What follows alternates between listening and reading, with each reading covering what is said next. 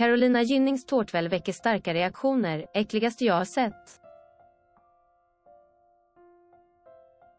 Nu är Carolina Gynning i blåsväder igen efter att ha chockat följarna med en tårta, avbildad av ett minst sagt speciellt motiv.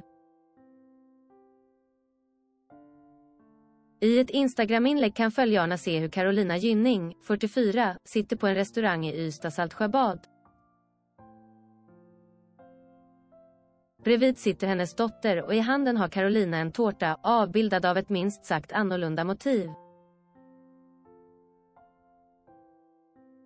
Tårtan ser nämligen ut som det kvinnliga könsorganet. En vagina helt enkelt.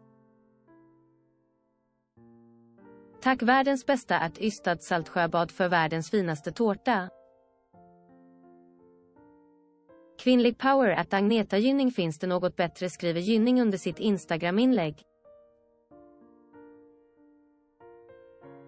Carolina Gynning är lite av en free spirit och går inte sällan emot olika normer. Något hon både hyllas och kritiseras för. Nu möts profilen av både ris och ros i kommentarsfältet efter sin bild på tårtan. Nu har det väl gått för långt, skriver en användare.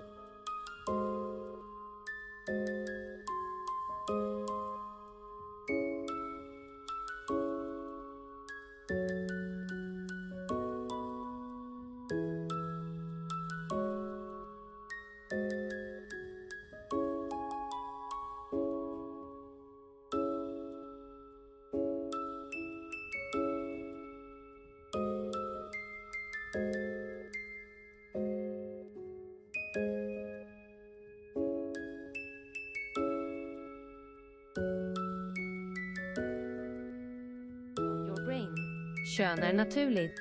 Tagga ner och slappna av lite, ni kommer få ett mycket härligare liv. Alla som gnäller över att det är en snippa tårta och ett barn närvarande, ni är såna som gör att flickor skäms över sina underliv. Ni är dom som gör att flickor inte vågar fråga om snippan. Skäms på er, fy fan.